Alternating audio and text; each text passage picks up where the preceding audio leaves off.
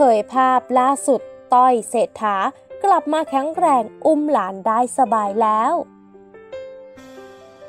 เรียกได้ว่าหายหน้าหายตาไปจากสื่อสักพักใหญ่ๆเลยละค่ะ เพื่อเข้ารับการรักษาตัวสำหรับนักร้องนักแสดงอาวุโสนะคะอาต้อยเศรษฐาศิรฉายาค่ะ ที่หลังจากตรวจพบว่าเป็นมะเร็งปอด ต้องมีการให้ยาให้คีโม จนทำให้ร่างกายนั้นสู้พร้อมดูแปลกตาไปค่ะ แต่ปัจจุบันนั้นอาการก็ดีขึ้นตามลำดับนะคะ อย่างล่าสุด อีฟพุทธิดาค่ะ ลูกสาวคนเดียวของอาต้อย ก็ได้เผยภาพสุดอบอุ่นนะคะ เมื่อได้พาคุณพ่อคุณแม่ ออกไปใช้ชีวิตข้างนอก เที่ยวชมบ้านเมือง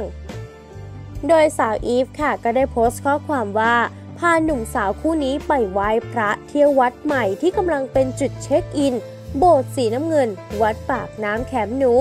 ทั้งนี้นะคะก็ยังได้อัปเดตอาการคุณพ่อค่ะว่าตอนนี้แข็งแรงมากๆ ผมจะ 14 กิโลแล้วนะครับ คุณตายังอุ้มผมได้อยู่ คุณตาผมแข็งแรงไหมครับกำลังใจและครอบครัวคือสิ่งสำคัญที่สุดครับ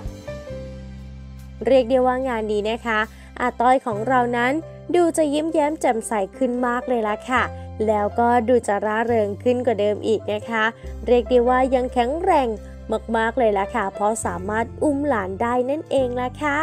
ทางเรานะคะก็ดีใจด้วยค่ะ แล้วก็ขอเป็นกำลังใจให้ต่อไปนะคะ ให้อาต้อยของเรานั้นกลับมาแข็งแรงมากยิ่งขึ้นค่ะ เพื่อที่จะได้กลับมาหวนคืนจอดอีกครั้งนะคะ ให้บรรดาแฟนคลับนั้นหายคิดถึงกันละค่ะและถ้ามีความคืบหน้าอย่างไรนะคะ ทางเราก็จะรีบนำมาอัปเดตให้เพื่อนๆนั้นได้คอยติดตามกันทันทีเลยล่ะค่ะ